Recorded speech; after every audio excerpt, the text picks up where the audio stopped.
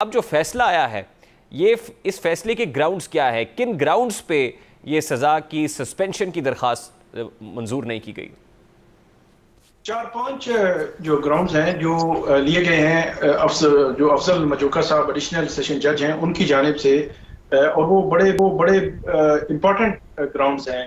ایک تو ان کی جانب سے یہ کہا گیا ہے کہ کیونکہ اس کیس میں جو ڈائریکشن ہے اسلام آباد ہائی کورٹ کی اور اس ڈائریکشن کے مطابق ہم اس کیس کو سن رہے ہیں اور اس کی اپیل بھی سماعت کے لیے مقرر ہے۔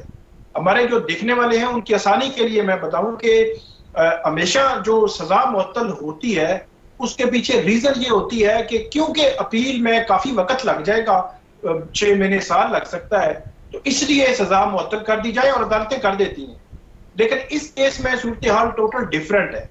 آئندہ چودہ روز میں جو اپیل ہے، عدت کیس، اس کا فیصلہ ہونا یہ بہت امپورٹنٹ ہے کہ جب اپیل کا فیصلہ چودہ روز کے اندر ہونا ہے، تو عدالت یہ کہہ رہی ہے کہ ڈائریکشن کیس میں سابقہ جو فیصلے ہیں، ان کو مد نظر رکھ کر انہوں نے یہ کہا ہے کہ ہم یہ آپ کو سزا، آپ کی سزا معطل نہیں کر سکتے، نمبر ون نمبر ٹو عدالت کی جانب سے یہ بھی پوائنٹ آؤٹ کیا گیا کہ جو آرگومنٹس کے دوران کہا گیا کہ یہ بے لیبل افینسز ہیں مطلب قابل ضمانت دفعات اس میں لگی ہوئی ہیں، تو اس لیے اس کیس میں ان کو جو ہے وہ ریلیف دیا جائے اور سزا معطل کر دی جائے۔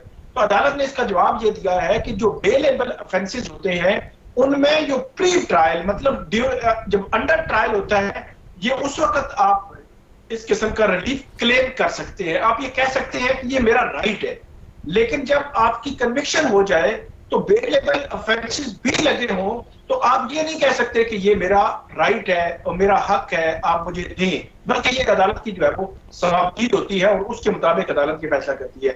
پھر تیسرا جو پوائنٹ ہے، وہ عدالت نے یہ کیا ہے کہ جو لیسر پنشمنٹ ہوتی ہے، یہ بھی ہمارے دیکھنے والوں کے لیے آسانی کے لیے ایک، دو یا تین سال کی سزا کو قانونی لینگویج میں لیگل لینگویج میں لیسر پنشمنٹ کہتے ہیں۔ اور اس کے اوپر پانچ سات سال کی جو سزائیں ہیں، ان کو اس کیٹیگری میں نہیں رکھتے۔ تو عمومی طور پر عدالتیں ایک، دو، تین سال کی سزائیں جو ہے وہ معطل کر دیتی ہیں۔ لیکن اس کے اوپر جو ہے، معطل کرانے کے لیے کوئی نہ کوئی ریزن دینی ہوتی ہے۔ تو عدالت نے یہ کہا ہے کہ یہ جو آپ کی سزا ہے، کیونکہ سات سال کی سزا ہے، جو عمران خان صاحب کو اور بشرا بی بی کو بھی، اس میں انہوں نے کہا ہے کہ آپ اس اینگل پہ بھی، اس نقطے پہ بھی نہیں آتے، اس کی اس لیے آپ کو ریلیف جو ہے وہ نہیں دیا جا سکتا۔ پھر ایک اور پوائنٹ عدالت کی جانب سے یہ بھی فیصلے میں لکھا گیا ہے کہ جاوید ہاشمی جو پہلے مسلم لیگ نون، پھر پی ٹی آئی کے تھے، ان کے حوالے سے، ان کے خلاف جو کیس ایک بنا تھا کیس بنا تھا جس میں ان کو سزا ہوئی تھی۔ تو اس کا حوالہ دیتے ہوئے انہوں نے یہ کہا ہے کہ جاوید ہاشمی جو ہے وہ زیادہ سزا کاٹ چکے تھے۔ مطلب جاوید ہاشمی کی اگر پانچ سال سزا تھی یا سات سال کی سزا تھی، تو وہ جب ان کی سزا معطل ہوئی، تو وہ زیادہ سزا کاٹ چکے تھے مطلب چار سال کی زیادہ سزا جو ہے وہ کاٹ چکے تھے، اس لیے سزا معطل ہو گئی۔ اور یہاں پہ آپ کا جو کیس ہے، وہ تین فروری سے لے کر ستائیس جون تک یہ پانچ ماہ بنتے ہیں اور سات سال کی سزا ہے۔ سات سال میں پانچ ماہ کی سزا کاٹ لینا اس کا مطلب یہ نہیں ہے کہ آپ جو ہے وہ زیادہ سزا کاٹ چکے ہیں۔ تو اس گراؤنڈ پر بھی عدالت نے یہ کہا ہے کہ آپ کی ضمانت نہیں ہو سکتی۔ جو بشرا بی بی ہیں، ان کو خاتون ہونے کی بنیاد پر بھی یہ سزا کی گئی تھی کہ ان کو ضمانت دے دی جائے۔ لیکن عدالت نے اس پلی کو بھی نہیں مانا۔ اور اس میں بھی عدالت نے یہ کہا ہے کہ یہ کوئی جنرل رول نہیں ہے کہ آپ نے سزا دینی ہی دینی ہے۔ الٹیمیٹلی پھر عدالت کا جو ثوابدید آ جاتی ہے کہ جو کی ضمانت جو ہے وہ بنتی ہے یا نہیں بنتی۔ تو یہ پانچ چھ پوائنٹس ہیں جن کو لے کر افضل مجوکہ ان گراؤنڈ سے جو میں سمجھ پایا ہوں اور جو آپ نے جو آپ نے سمجھایا ہے ثاقب بشیر صاحب اور جو گراؤنڈز آپ نے سامنے رکھے ہیں اور عدالت نے جو دس صفات پر مشتمل فیصلہ دیا ہے میری نظر میں یا میری دانش میں مجھے یہ لگتا ہے کہ ٹیکنیکل گراؤنڈز ہیں یہ درخواستوں کو مسترد کرنے کے۔ کیا میرٹ کے گراؤنڈز کے اوپر یہ فیصلہ ہونا بھی باقی ہے جو کہ مرکزی اپیلوں پر ہوگا اور وہ دو جولائی کو ہونے جا رہی ہیں اور یہی جج صاحب ہوں گے، انہی کی کورٹ ہوگی، یہی مرکزی اپیلوں پر فیصلہ کریں گے۔ اور پھر interestingly Islamabad high court کی ڈائریکشنز پر اگر آج کا فیصلہ ہے تو اسلام آباد ہائی کورٹ نے کہا ہے کہ دس، جو ایک مہینے کے اندر اندر آپ مرکزی اپیلوں پر بھی فیصلہ سنا دیں۔ تو کیا ابھی میرٹ کے گراؤنڈز پہ فیصلہ ہونا باقی ہے؟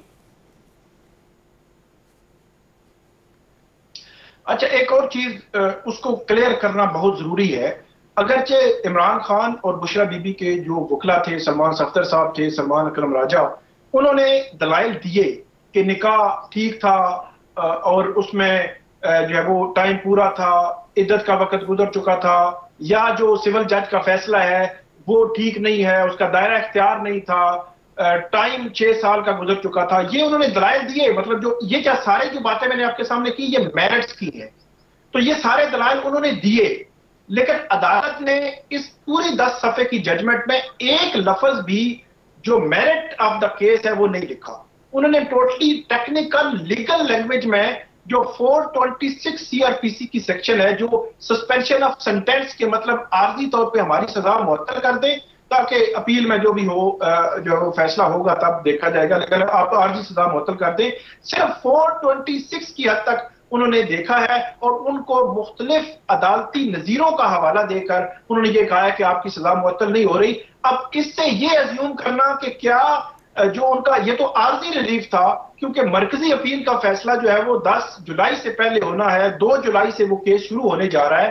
تو یہ زیوم کرنا کہ کیا عدالت جو جج ہے، انہوں نے اپنا مائنڈ ڈسکلوز کر دیا ہے کہ اب وہ جو مرکزی اپیل کا فیصلہ بھی ان کے خلاف آئے گا، یہ درست نہیں ہے۔ اس کی وجہ کیونکہ میرٹ کا ایک لفظ انہوں نے نہیں لکھا۔ کہ نکاح درست تھا، نہیں تھا یا کیا تھا عدالت نے فیصلہ ٹھیک دیا، نہیں دیا، یا ان کا نکاح جو ہے وہ لاہور میں ہوا تھا اور اسلام آباد کی عدالت نے کیسے فیصلہ دے دیا کہ ان کا دائرہ اختیار ہی نہیں بنتا تھا جورسٹکشن ہی نہیں بنتی تھی؟ تو یہ سارے پوائنٹس آئندہ جو دو جولائی سے دس جولائی کے درمیان دیکھنے ہیں، ابھی عدالت نے ایک لفظ نہیں لکھا تو اٹ مین کہ انہوں نے اپنا مائنڈ ڈسکلوز نہیں کیا کہ کیا جو مرکزی اپیل ہے، اس میں عمران خان صاحب کو وہ ریلیف دیں گے یا ریلیف نہیں دیں گے، دونوں صورتوں میں جو بھی ہونا ہے۔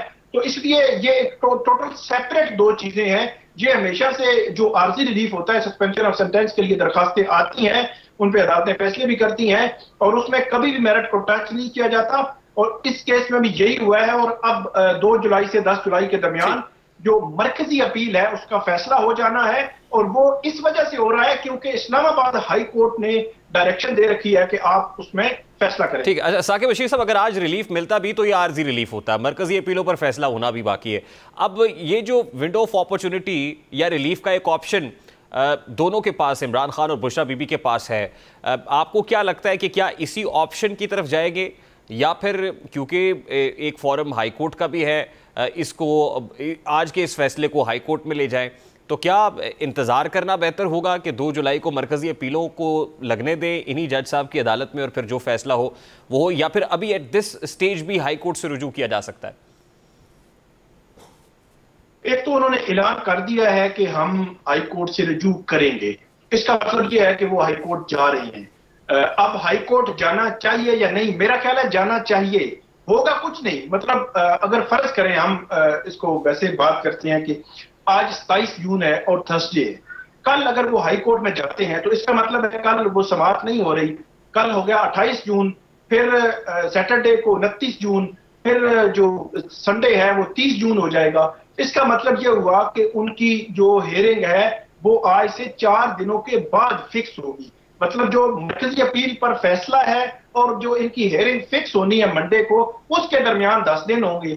تو ان دس دنوں میں پہلے عدالت جو ہے وہ ان کو سنے گی، پھر نوٹس کرے گی۔ تو میرا یہ خیال ہے کہ جانا تو ان کو ڈیفینیٹلی انہوں نے فیصلہ چیلنج کرنا ہے، مگر نہ وہ ایک اس کے الگ اثرات ہوتے ہیں کہ وہ اس کو چیلنج کرنا ضروری ہوتا ہے۔ تو وہ چیلنج تو کریں گے۔ لیکن میرا یہ خیال ہے کہ ہائی کورٹ یہ کہے گی کہ اب آپ نے سسپینشن آف سنٹینس کی درخواست کو کیا دیکھنا ہے؟ ابھی دس دن تو رہ گئے ہیں۔ تو دس دن میں آپ کی جو اپیلیں ہیں، ان کا فیصلہ ہو جانا ہے۔ کیونکہ افضل مجوکا صاحب یہ کہہ چکے ہیں کہ دس جولائی تک اس کا فیصلہ ہم کر دیں گے۔ تو اس کا مطلب یہ ہوا کہ اب دس جولائی ہی اور یہی جج کیس سنیں گے، یہی عدالت ہوگی اور دس جولائی کو جو ہے وہ فیصلہ کریں گے کہ اپیلوں کا کیا ماننا ہے اور ہائی کورٹ کا معاملہ میرے خیال میں وہ پھر پینڈنگ ہی رہے گا جب تک کہ اس کا فیصلہ، جو بھی فیصلہ آتا ہے، پھر اس کے مطابق پھر وہ آگے لے کر اس کو چلیں گے۔